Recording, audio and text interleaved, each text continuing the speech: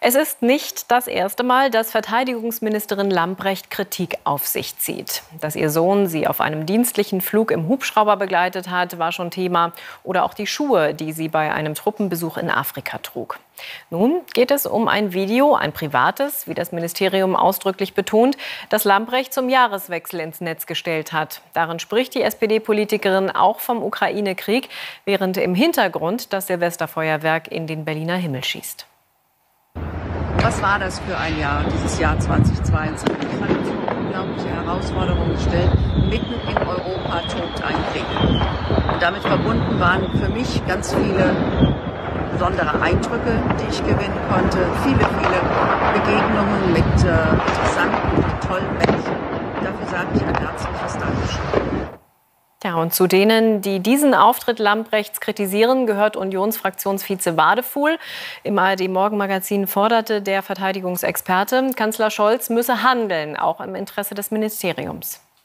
Sie hat keinen Rückhalt mehr, weil sie nicht versteht, dass sie dort nicht als Christine Lambrecht auftritt, wenn sie so ein Video dreht, sondern als Inhaberin der Befehls- äh, und Kommandogewalt über die Bundeswehr, als Vertreterin eines zentralen Ressorts dieser Regierung als Vertreterin Deutschlands auch im Ausland. Und wenn man in diesem Szenario äh, davon spricht, dass man tolle Begegnungen gemacht hat in Zeiten, wo Krieg herrscht, äh, dann muss ich sagen, ist da eine Ministerin, die überhaupt nicht weiß, was das Amt erfordert. Eine Ministerin, die Deutschland schlecht vertritt und eine Ministerin, die die Soldatinnen und Soldaten nicht mitnimmt, nicht zuerst an sie denkt, sondern an sich selber denkt. Mhm. Insofern, sie ist falsch am Platze. Nachgefragt dazu bei unserer Korrespondentin Claudia Buckenmeier in Berlin. Deutschland diskutiert also über das Video von Verteidigungsministerin Lambrecht. Eben gerade haben wir schon die Opposition, die CDU, CSU gehört. Was ist denn aus der Koalition zu hören? Nicht wirklich viel, um ehrlich zu sein. Ähm, weder ganz offene Kritik, aber eben auch keine wirkliche Verteidigung. Da heißt es dann, der Rahmen für dieses Video sei doch etwas unglücklich gewählt worden. Oder man sagt, man sehe keinen Anlass, das zu bewerten. Oder man sagt, die Kritik der Union daran sei doch etwas übertrieben. Aber das alles ist keine wirklich vollmundige Verteidigung dessen, was die Verteidigungsministerin da in der Silvesternacht ab abgeliefert hat als Video. Aber es ist eben auch keine offene Kritik. Ich habe so ein bisschen den Eindruck, man hofft, dass dieser Sturm in Anführungszeichen möglichst schnell vorüberziehen werde.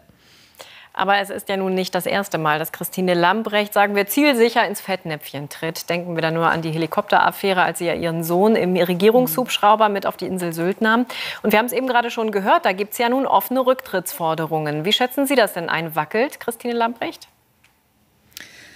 Also bisher habe ich ehrlich gesagt nicht den Eindruck, dass sie wirklich wackelt, weil da gucken alle Richtung Bundeskanzler Scholz und der hat sich bisher nicht von ihr distanziert.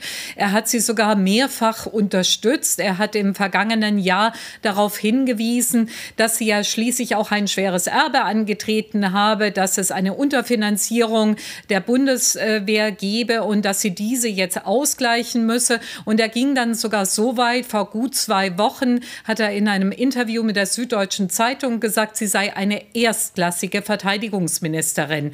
Ob er davon jetzt wirklich überzeugt ist oder ob er das macht, um sie nach außen hin zu verteidigen, vermag ich nicht zu sagen. Aber im Moment gibt es keinen Hinweis darauf, dass er wirklich von ihr abrücken würde. Aber wie kann denn das immer wieder passieren? Kann man Christine Lamprecht vielleicht als beratungsresistent bezeichnen, angesichts ja ihrer mehrfachen Fehltritte?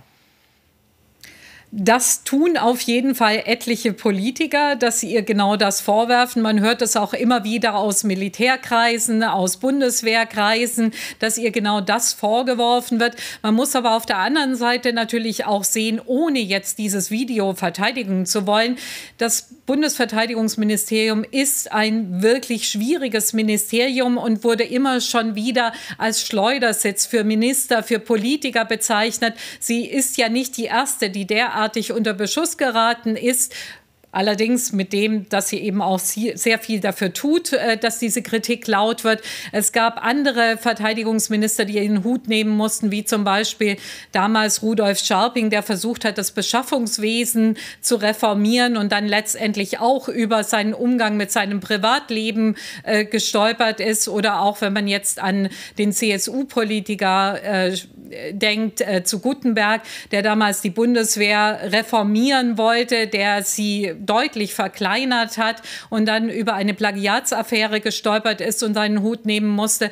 Also von daher, es gibt eine lange Geschichte, wie schwierig es Politiker im Verteidigungsministerium haben. Aber das alles erklärt, äh, soll nicht kleinreden, welche Versäumnisse es auch auf der Seite der Ministerin gibt.